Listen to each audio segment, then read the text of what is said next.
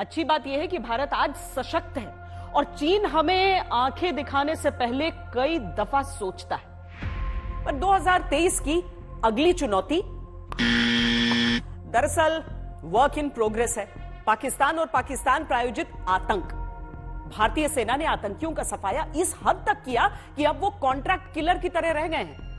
लेकिन target killing को भी अब टारगेट करके समाप्त करने का समय है। और हम इसे बूस्टर के बूस्टर डोज के रूप में प्रयोग करेंगे।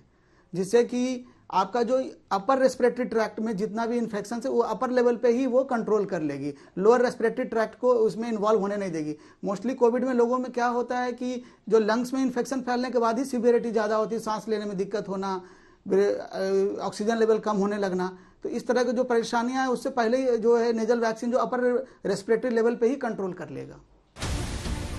2023 में यह तय करने की आवश्यकता भी होगी कि क्या भारत में अब चौथे डोज का समय आ चुका है।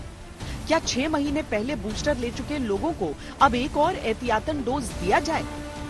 हमारा जो वैक्सीनेशन का जो कवरेज है, बहुत ही अच्छा है। कंपेयर टू दी अदर देश के, जो मुकाबले, हमारा वैक्सीनेशन कवरेज बहुत ही अच्छा है, जिससे है कि हो भी रहा है लोगों में तो लेकिन सिवियरिटी नहीं हो रही है उतना संक्रामक नहीं हो रहा है रोग। हो रहा है से, सेल्फ इम्यूनिटी और वैक्सीन का एंटीबॉडी डेवलप हो जाने के कारण लोग अपने आप ठीक भी हो रहे हैं। तो इससे हमारा जिसका जो बी सेवन है बी सेवन वेरियंट को ओमिक्रॉन का ग्रेट ग्रैंडसन का नाम दिया गया है।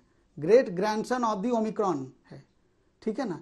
तो इससे है होगा लोगों में लेकिन ओमिक्रॉन से ज़्यादा सीवियर है ये। लेकिन हमारे देश में जो कि वैक्सीनेशन का कवरेज इतना अच्छा है कि इसके कारण हम लोग बहुत बचाव होगा और इसके कारण ज़्यादा मोर्टेलिटी और ज़्यादा लोगों के चांसेज नहीं है। कोरोना स्वास्थ्य के साथ साथ अर्थव्यवस्था की भी चुनौती लेकर आता है। और हमें एक देश के तौर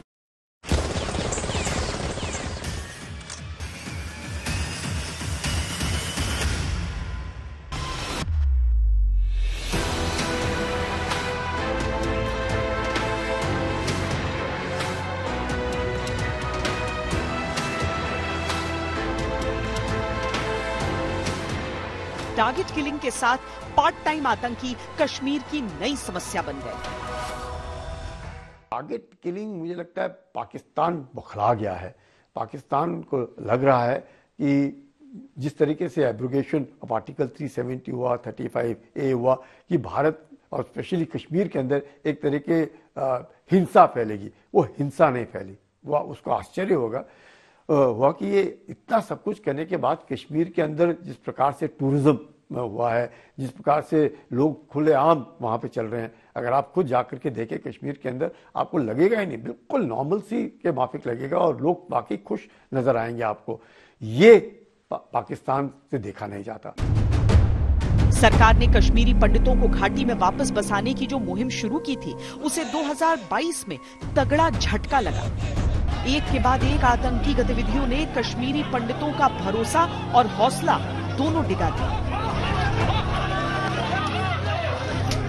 हम लोग कब तक अपनी जान के लिए तड़पते रहेंगे। कब तक बार बार अपनी गुहार लगाते रहेंगे? इसी एडमिनिस्ट्रेशन से बोल सकते हैं, किसको बोले और? और किसको बोले हम? कैसे बोले, कैसे समझाएँ? कौन सी लैंग्वेज है? इंग्लिश है हिंदी है, कौन सी सारी पूरे इंडिया की लैंग्वेजेस में समझा चुके हैं गवर्नमेंट को? लेकिन ये लोग मानने को तैयार नहीं। अपनी दोहरी नीति को छोड़ने को तैयार नहीं है। डबल स्टैंडर्ड्स को छोड़िए प्लीज़ हमारी जानों के ऊपर डबल स्टैंडर्ड्स ये गेम मत खेलिए।